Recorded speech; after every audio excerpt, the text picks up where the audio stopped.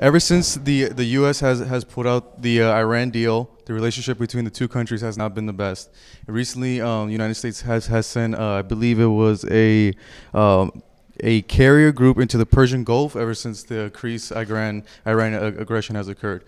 I know you're very anti-intervention. Um, what would you do right now, as if you were president, to improve the relationship between the United States and Iran? And what do you see um, maybe happening between now and the election between us and Iran? Do you see maybe a possible war at all? Uh, I think it's really dangerous the steps that this administration is taking to push us closer and closer to a war against Iran.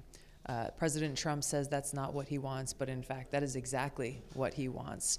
Uh, and when you look at who is surrounding him and pushing him into that war, people like John Bolton and Nikki Haley and others, um, we see that that is clearly their intent. Uh, as president, I would re enter the Iran nuclear deal that Trump withdrew from. That was really the kicking off point that has escalated these tensions, not only between the United States and Iran, but with all of the other countries that were signatory to the deal and the countries that the United States is now threatening with sanctions if they do any business with Iran at all.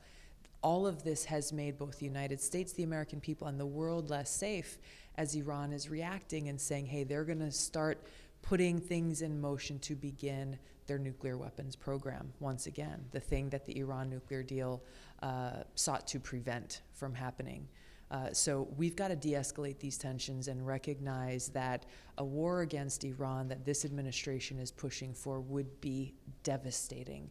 Be devastating for the Iranian people, the people in the region. It would be incredibly costly on our troops, on our military families, on the American people with the money that would be spent on this war create more instability in the region, create a worse refugee crisis across Europe, strengthen terrorist groups like ISIS and Al Qaeda, making our country less safe, undermining our national security.